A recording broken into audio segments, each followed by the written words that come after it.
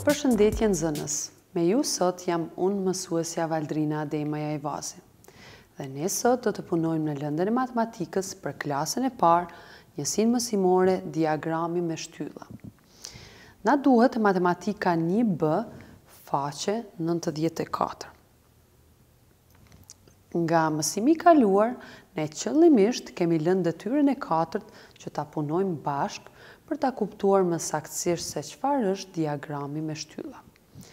Prandaj në Matematikë një B faqen nëntëdhjetë e katër besoj që jeni gati ta punojmë detyrën e katërt. Edlira dhe Altini mblodhën të dhënat lidhur me muajin e lindjes së shokëve dhe shoqeve të klasës. Këto të dhëna ata i shënuan në këtë mënyrë. Pra siç po e vëreni, ata i kanë shënuar në këtë mënyrë, domethënë kanë bërë formën e një njeriu për të treguar se sa nxënës për shembull kanë lindur në muajin janar, shkurt, mars, prill, maj, qershor, korrik, gusht, shtator, tetor, nëntor dhe dhjetor. Pasi i kanë punuar në këtë mënyrë, ata provuan që të dhënat e mësipërme t'i paraqesin edhe në formë të tabelës. Tani ne, bazuar në këtë, do të mundohemi t'i paraqesim të dhënat, por fillimisht na duhet t'i shkruajmë muajt. Cili është muaji i parë i vitit?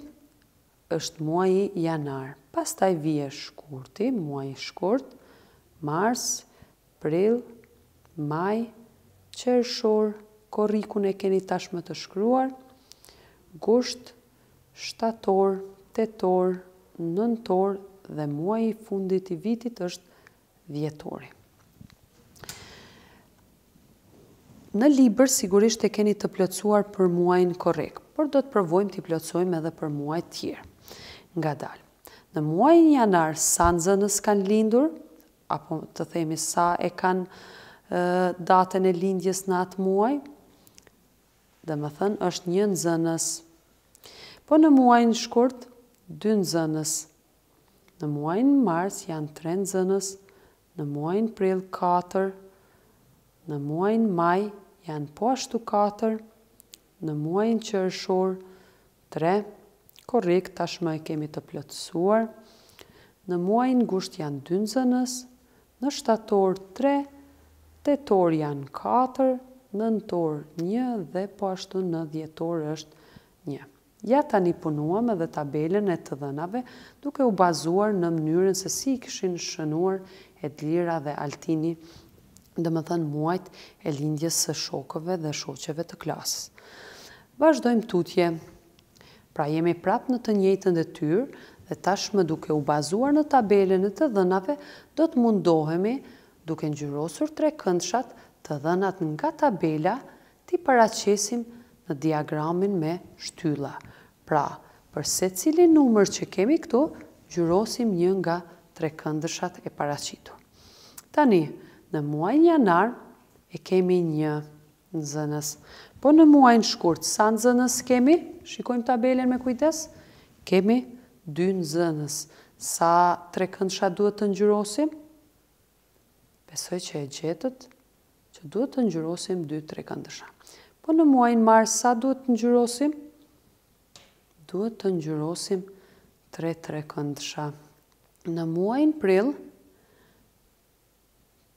katër trekëndësha, po ashtu edhe në muajin maj kemi Katër trekëndsha në muajin qershor, shikojmë në muajin qershor kemi tre trekëndsha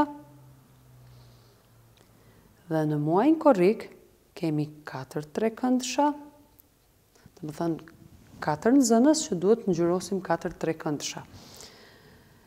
Në muajin gusht duhet të ngjyrosim vetëm dy trekëndsha se kemi dy nxënës, në muajin shtator duhet të ngjyrosim tre trekëndsha sepse tabela na thotë që kemi vetëm tre nxënës. Në muajin tetor, katër trekëndsha ngjyrosim që përfaqësojnë katër nxënës, në muajin nëntor një dhe në muajin dhjetor një. Pra kjo është një nga tabelat me shtyllë të cilat i kemi paraqitur të dhënat e paraqitura nga tabela me të dhëna, domethënë i kemi shndërruar në tabelën apo në diagramin me shtyllë, ndryshe si quhet. Vazhdojmë tani diçka tjetër që nuk e kemi në libër dhe të cilën duhet ta diskutojmë bashkë. Besoj që shpeshherë e keni dëgjuar shprehjen e sigurt, e mundur dhe e pamundur. Besoj që kur keni thënë diçka e sigurt, ju tashmë keni pas një informacion të sigurt për diçka, pra keni qenë jashtëzakonisht të bindur që mund të ndodhë ajo. Në rastet kur themi e mundur, Ne nuk jemi plotësisht të sigurt, pra ka mundësi të ndodhë një ngjarje apo diçka që mendojmë. Ndërsa në rastin që themi e pamundur, domethënë jemi të bindur që ajo nuk mund të ndodhë. Pra shprehjet e sigurt, e mundur dhe e pamundur shpeshherë përdoren për të japur qëndrimin rreth një ngjarje apo një situate për vërtetësinë e saj apo ne si mendojmë, pra japim një qëndrim. Për ta kuptuar më mirë, ne kemi nxjerrë disa fotografi të cilave poshtë tyre kemi përshtatur një pyetje dhe më pastaj do të gjejmë cila nga ato përgjigje mund të jetë qëndrimi juaj. Provojmë tek fotografia e parë. Pas ditës vjen nata. Sa jeni? A jeni i, a, i sigurt apo e sigurt? E mundur, e pamundur? Si, si mendoni? Sigurisht që jemi të sigurt sepse pas dite, ditës vjen çdo herë nata. Pra, për këtë jemi të sigurt. Vazhdojmë. Macja mund të flasë si ti. A është e mundur që macja të flasë si ti? E pamundur, sepse kafshët kanë gjuhën e tyre dhe është e pamundur të flasë si një njeri.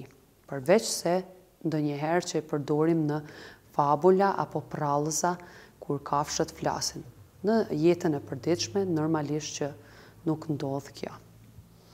Vazhdojmë tek figura e tretë. A mund të kapë djali një top të kuq? Shikoni, janë dy top të kuq dhe dy të gjelbërt. Pra, si mendoni? Ai nuk po shikon në qeskën që po përpiqet t'i kapë topat. Si mendoni? A është e sigurt që do ta kapë një top të kuq? A është e pamundur? Apo është e mundur? Besoj që është e mundur sepse, domethënë, ka mundësi meqë janë dy të kuq, dy të gjelbërt, por nuk është e sigurt. Pra, këto ishin disa nga shprehjet të cilat zakonisht ne i përdorim për të dhënë një qëndrim. Tani kemi një detyrë që do ta punojmë bashkë. Këto. Pra, moti gjatë javës së parë të prillit. Moti me diell i vrenjtur dhe me shi. Dhe ja ku janë ditët e javës. Këto x-at apo kryqin që e kemi vendos, domethënë përfaqëson se në ato ditë ka qenë moti i tillë, domethënë nëse është vendos X-i këtu, përfaqëson që të mërkurën moti ka qenë me diell. Ja si kemi paraqitur këto të dhëna dhe tani do të mundohemi që të kuptojmë në vazhdim se çfarë duhet të punojmë me to. Pra të dhënat e paraqitura, ne do të mundohemi ngadalë t'i tregojmë edhe me Diagramin me shtylla. T'i paraqesim domethënë nga tabela në diagramin me shtylla.